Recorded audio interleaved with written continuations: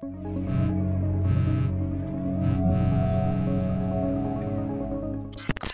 there everyone, Indra here and today I'm going to show you how to add dramatic highlights and shadows to your Photoshop compositions. Many of you have asked me how I add highlights to my artworks and today I'm going to show you exactly how. Please stay till the end of the video because I have a small exercise for you. Now, without further ado, let's start lighting things up.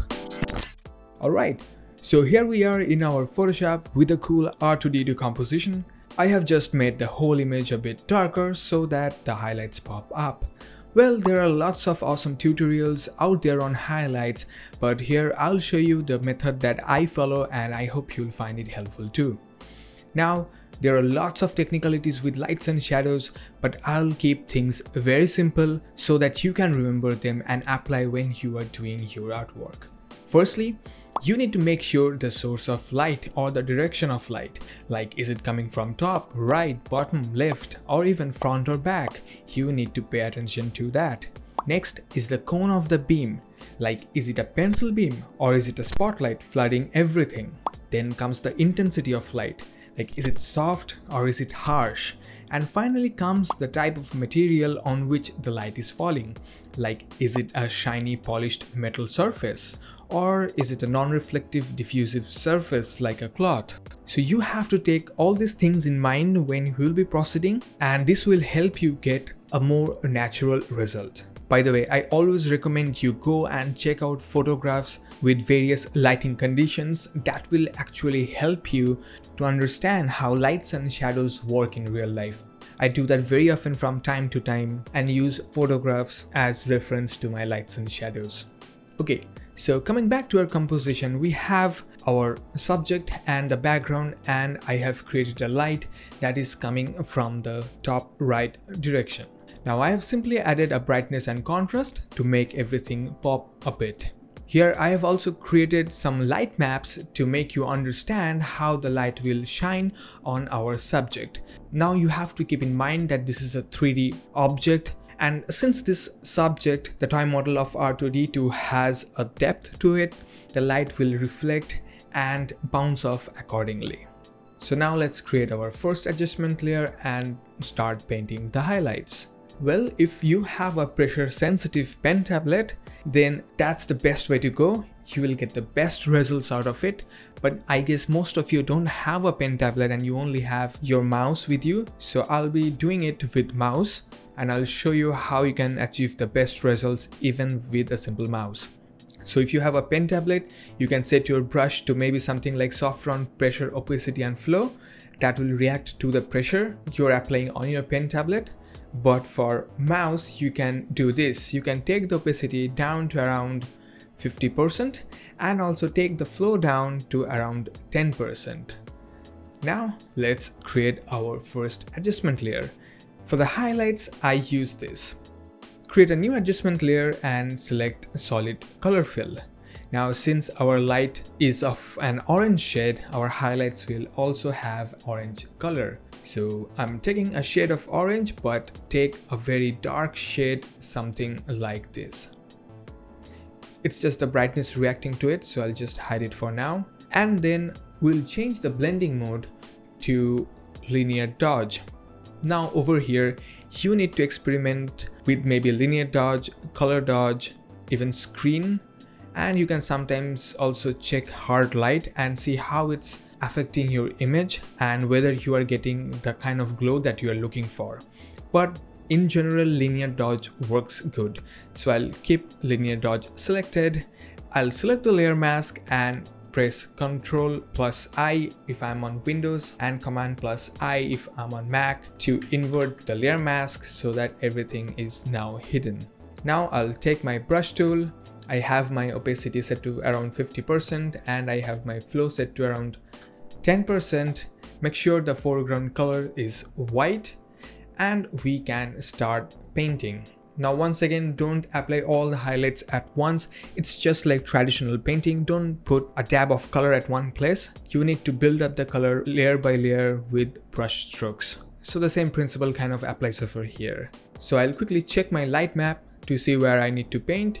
So I'll zoom in and start with this metallic surface.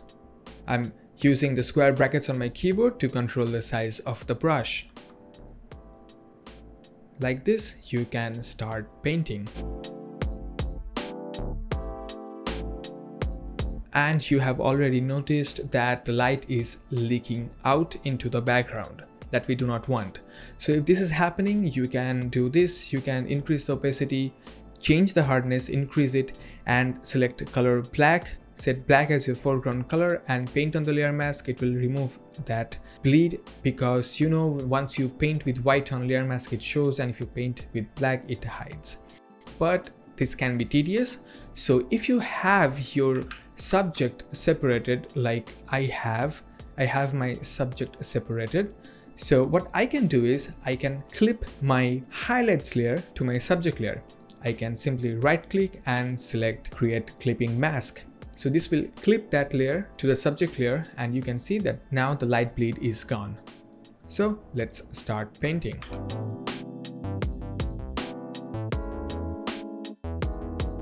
Well, now here is a cool trick that I would recommend you do.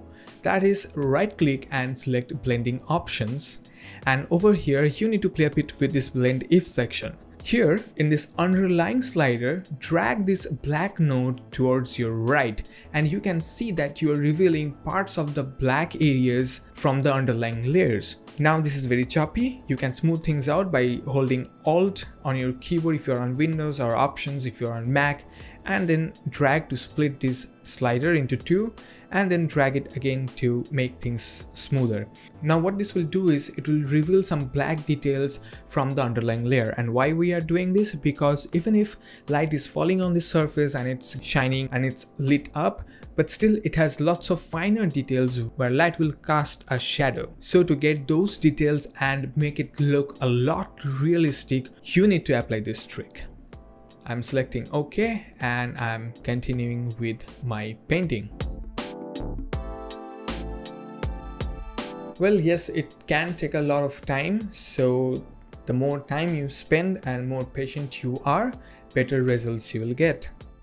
Maybe I'll brighten up the color a bit. And also play with the blend if section to brighten it up.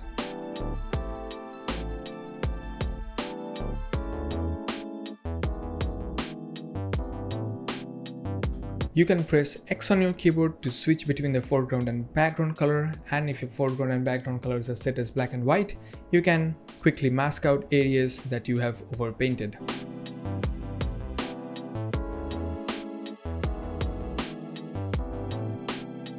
So these are protrusions and they will catch the light, so I'm painting them off carefully. Don't worry if the light is not looking that bright, we can always brighten it up afterwards. I have chosen this example specifically because it is not too simple but not too complex also and we can experiment with different shapes over here like this arm here is very sharp so it will kind of have a very sharp highlights over here but if you consider this body area this is cylindrical in shape so it will catch a lot of light over this region so we can highlight all of this at once.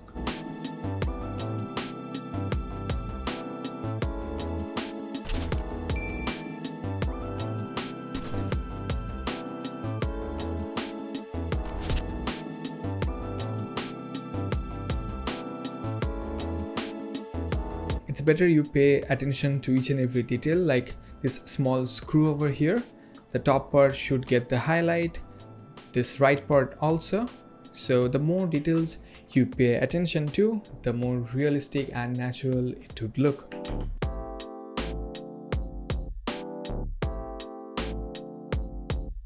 We should also have a bit of highlights on the part over here but it won't be that much like we had on the right side. So I'll just add a little bit of rim highlight over here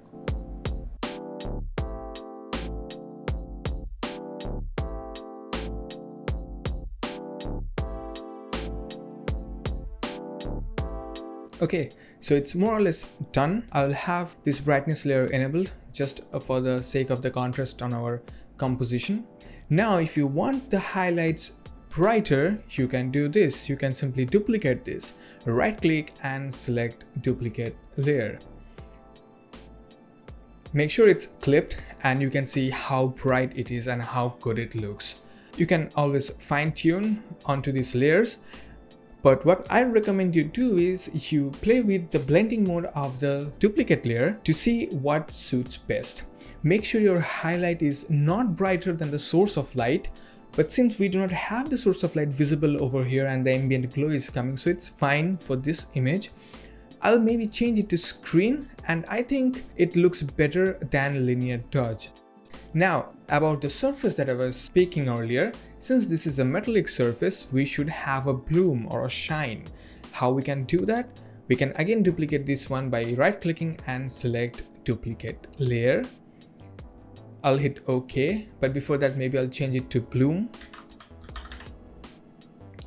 And now I'll release the clipping mask I'll tell you why. I'll right click and select release clipping mask and this is all bleeding out. So what I'll do is I'll just select the layer mask and since my background color is black I'll press ctrl and delete on my keyboard or if you're on Mac you can press command and delete to fill it with black. Now what I will do is I'll change its blending mode to screen. It's already screen so that's fine. I'll again take my brush. The hardness is 0, the opacity is 45, flow is 10, everything looks perfect, foreground color is white. I'll paint a bit over here. I want the light to bleed out because this will create the bloom and the glow that you will normally see on a reflective metallic surface. This will not happen that much over here because this is a non-metallic, maybe this is a plastic surface. So we will keep it restricted to the metallic surface only. We can add it over here also. You can spend as much time as you want to make things look perfect. Now with that done, we'll quickly add the shadows. So I have created a shadow map so that you can better understand. So these are the areas that will catch the shadows and shadows is easier than painting the lights because shadows will appear only on the region where the light is blocked. Like the light is coming from the top right, it hits this metal notch over here.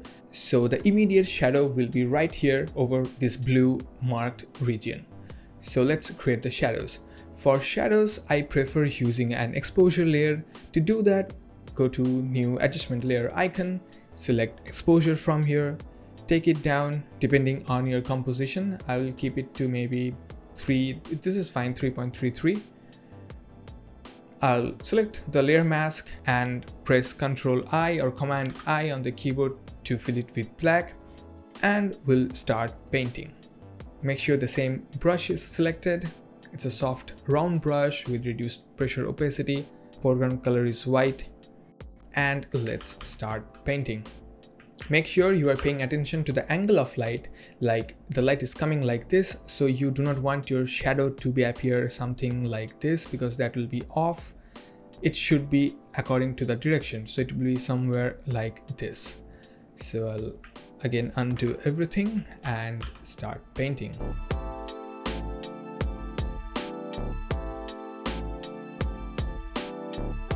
These small areas should also catch a shadow.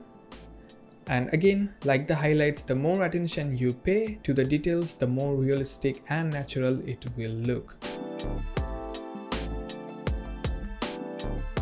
We'll have an immediate shadow over here as well. We'll also have shadow over here because this part is facing in the opposite direction as our lights so let's paint our shadow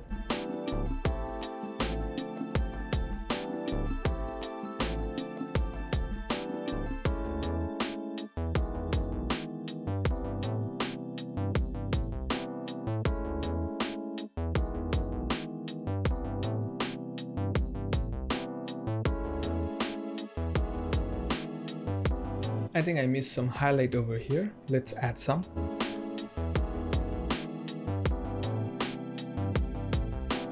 You can adjust the intensity just by controlling the exposure layer like that. I think I'll keep it like this. So here we have added our highlights and shadows and you can see the difference it makes. It looks dramatically different from what we started with, right? But to take things further, I have added this. I have added these crystals and this will act as a second source of light and I will show you how a different light source will react to our composition. We need to first determine the region where the light will shine on our object. Since this is a very smaller light source, so our highlights will be limited to a shorter area. I have also created a light map to demonstrate you better. This part of the subject is facing the light so more or less, this is the area where we'll be painting our highlights. So with this in mind, let's create another solid color layer just on top of the orange layers. Let's go to the new adjustment layer and select a solid color. And since our crystals are giving off a green light, we should also select a green highlight. Let's take a darker shade just like before and we'll select OK. Let's change the blending mode to linear dodge as before and we'll also clip it to the subject and also we'll play with the blend if section. Let's right click and select blending options and over here in this underlying layer section of blend if we'll hold alt or option on the keyboard and split this black slider and drag it to the right and you can see that it's revealing some of the darker details from the underlying layer and this will again help in adding realism to our highlights. Let's click OK. Let's select the layer mask and press Ctrl I or Command I on the keyboard to hide everything. And let's take our magic brush, make sure it's soft and round with reduced opacity and flow. White color is selected and let's start painting. I'll quickly block off parts of this region where the highlight should be and if I overpaint any region, I'll paint with black to hide those unwanted areas.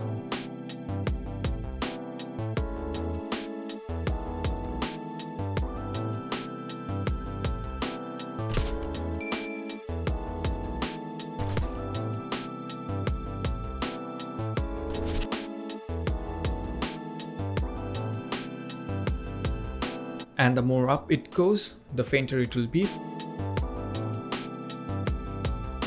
I'll paint it pretty faintly over here.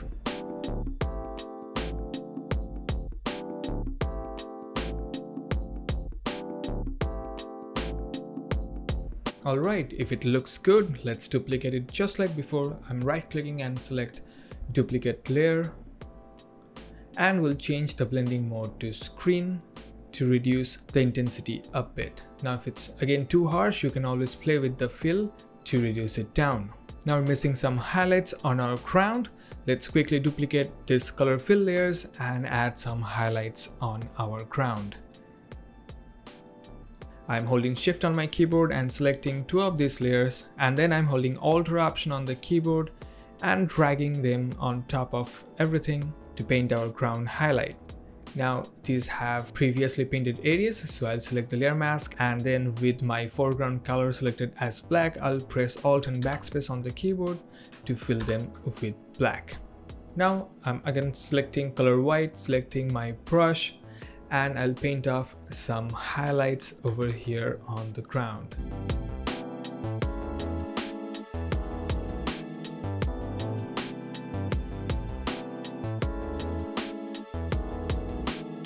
Well, I think I missed some shadows just underneath this subject. So I'll select the exposure layer and paint some shadow over here on the ground. Okay, so that's it pretty much. And to spice things up, I added a little bit of particles to our composition. So this is without the highlights and this is with the highlights and the shadows.